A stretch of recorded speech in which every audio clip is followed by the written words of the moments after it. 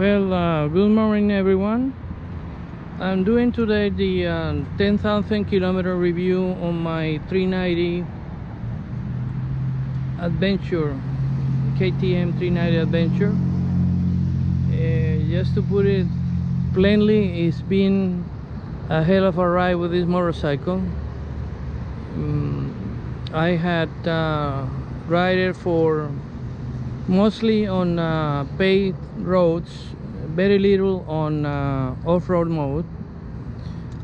But the idea when I purchased it was to have a, a, a very strong bike to travel in the uh, Mexico southeast. Basically is uh, uh, most of the roads are paved very little uh, on paved obviously if you look for it you can find them but I've been traveling within cities in the southeast of Mexico and, and the bike has performed as expected.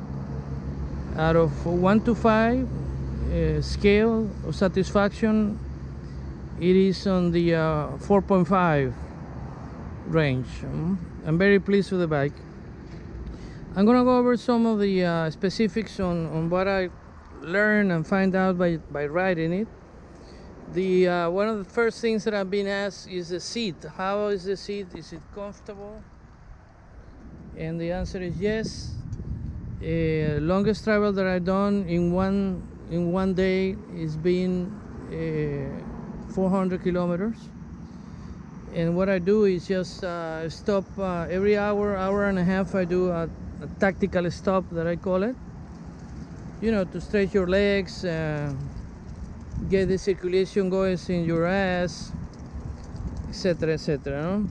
uh, with respect to the uh, power needed to overpass the vehicles in the road is uh, is being uh, the performance of the bike is excellent it, it will give you from fifth to sixth gear it is it is um, it has enough power to uh, do this in overpass uh, here the roads are usually two lane. Some are uh, four lane but uh, I'm talking about uh, each way. Uh, but uh, the roads that are riding they're very they're used by the big trucks you know the taking in and out the um, so um, in regards to road handling, the bike performs as, as advertised. I give it a 5 over 5 scale. The engine performance again is a 5 over 5 scale. Uh, the tires, as you know, they are dual purpose. They're fantastic for the road and I haven't had, I have rode in a rainy scenario several times not that I look for it but I, am just traveling from city to city and, and there is rain. So uh, the tires have handled uh, pretty good. They they haven't had a slide even if I'm doing 120 130 kilometers per hour in a decent uh, curve. What else I have here? The uh, other question that I usually ask on the bike is the mileage how many kilometers per liter. So my uh, after doing some calculations and using the onboard computer uh, we're talking about 25 to 30 kilometers per liter. And that's about without going into almost dry tank it's, it's about 280 300 uh, kilometers per tank.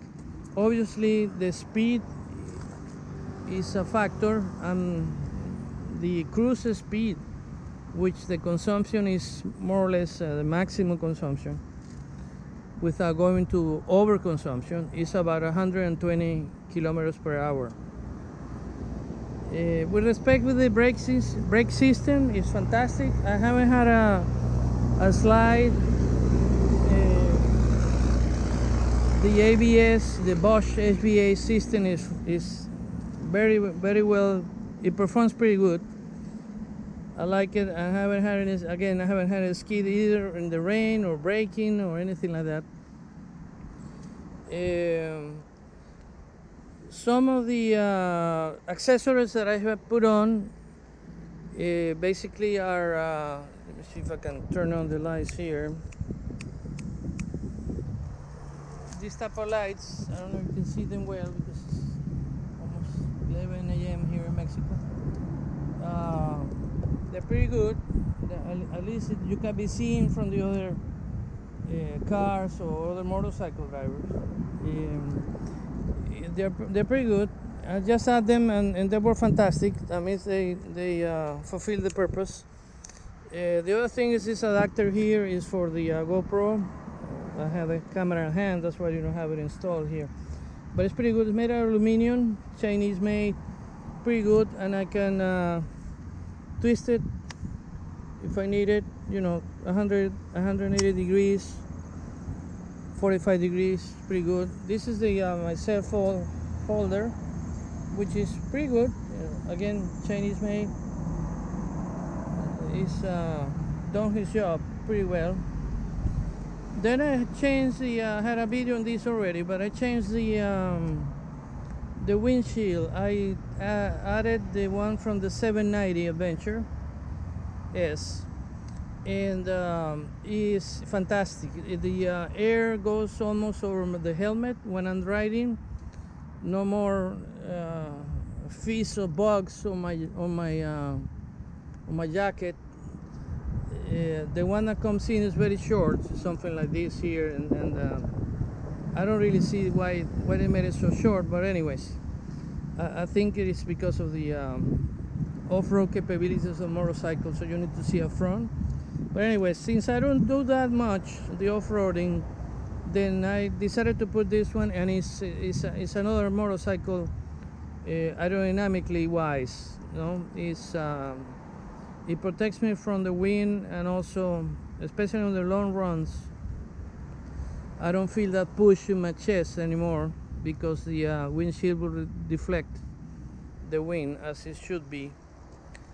Then uh, on the back I bought the uh, the standard KTM uh, side racks they're very little I thought it was they were bigger for the cost. Uh, I thought they were bigger but that's that's what it is. And you can fit their KTM uh, panniers the, only thing I didn't like those because the volume that I can handle. Is only uh, 10 I think it's 12 liters. So it's too little for me. I was expecting something bigger. I got myself a couple of uh, bigger bags. I'll, I'll put the photo in between the video and and those are 17 liters each. So I got more uh, space to um, to store things when I travel far away. Um, the uh, the top case I decided to go with shad like with my previous uh, KTM 250 Duke. This one is 39 I had the 45 and, and again they're interchangeable. The base is universal so I can put the 45 one in on this plate without any issues uh, depending how much luggage I have. Uh, I added this uh, Rohart uh, fender or mudguard in the back because it was very messy. When you, when, if, it, if it is raining on the road and all that all the all your stuff in this area will get all dirt up. So I decided to put this this uh, mud guard and it has done a pretty good job. There's still some uh, dirt that comes underneath as you can see but it's better than nothing I guess. Then I uh, had the uh, Akrapovic exhaust. It's pretty good. I actually was expected to sound more uh, like a strong sound but uh, it, it does its job. Nothing out of this world. Kind of costly also but it's okay. You know like i always say i'm a, I'm a, a university professor and i tell my students no pain no gain so i apply it to myself no pain no gain but this you know it's like a province it, hopefully it sounds pretty good and it does but i was expecting more.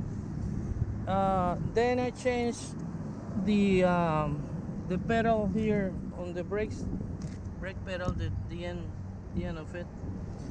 Uh, I changed it because I, uh, one day I was in a convenience store and I didn't realize the uh, level of the uh, surface where I parked the motorcycle was inclined to the right. I mean, looking in front of the bike to the left. And I was pulling some stuff out of my box, and all of a sudden the uh, motorcycle dropped to to, to the right. And when it fell down, this piece here broke. The original piece, which was, you know, a very simple metal material and it bent it i bent it back but then i uh, went into the web and decided to get this one you know orange aluminum made it will break as well huh? but uh, i have another one just in case so and it looks pretty cool huh? as you can see i took out the rubber from the uh, from the peg uh, it gives you more uh, more more traction to the the writing books that i use even though I'm doing only a road. Uh, what else do I have here for this motorcycle? Well, that's the, the other thing that I bought is very simple is a screen protector here. It's a screen protector and also is is uh, non-glared, so I don't see the reflection of the lights or, or the sun when I'm against it, you know. So, when sorry, when the sun is behind me so I, I, don't get that reflection sometimes it's little pain in the ass the, um, the I have used the uh, adjustment of the front uh, suspension and it's okay. Uh, you can the good thing is you can change it and as, well at least in the US version that, that arrived here in Mexico I understand the India model doesn't have that. But anyways you know again no pain no gain so that's basically what I have on the motorcycle. Then in regards to the uh, service of the motorcycle it's not it's not costly. At least here in Mexico they charge you minimum two hours of labor and that's about $30 plus the oil and filter. Uh, the only complaint that I have on the uh, service facilities here where I am, and it seems to be the same for the other brand motorcycles, is that it takes them too long. And I kind of uh, inquire on that, and, and the deal is that the, they only have one mechanic for whatever amount of motorcycles that are in for service. So you have to, to be on a queue. Uh, you have to be on a queue until it's, it's, it's, it's your turn. So usually for a oil change, uh, it would take about three days to do it. And, and that's something that you have to live with it. Uh, but I understand their position. I mean, there's only a few bikes. Why would they need to have three mechanics? You know, one is enough. Hope the guy doesn't get sick and uh, hope for the best. You know, hope you get in and, and they can do it on a on a timely basis. They call it. You know. What else can I tell you about this bike? Um, I'm very happy with it. I mean, I want to finalize a video saying that I'm very happy with the bike. I'm I'm a pleased customer of KTM. I can say that. Uh, again, it only has 10,000 kilometers. Let me show you on the odometer here.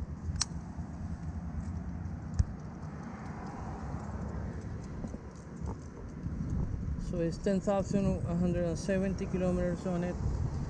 So let's talk about now the uh, issues. Well, I, I haven't had uh, obviously a major breakdown on the on the bike, but I I, I have had the famous fail uh, ECU light, red light, which means there is something wrong with the computer. That happened at about 7,000 kilometers. I took it to the shop. They uh, it took them a week before they could plug in the uh, the computer they use, or the um, this is a name for that, and uh, the scanner. Yeah, I remember now and they fix it by deleting a, a program and reinstalling uh, uh, restoring it again uh, so the issue is is is software. It was nothing to do with the uh, bike mechanically or, or, electronically speaking. And and again it took about a week to fix and but since then nothing else has happened. Uh, what else did I have? What issue is that I, I could mention that I have with the bike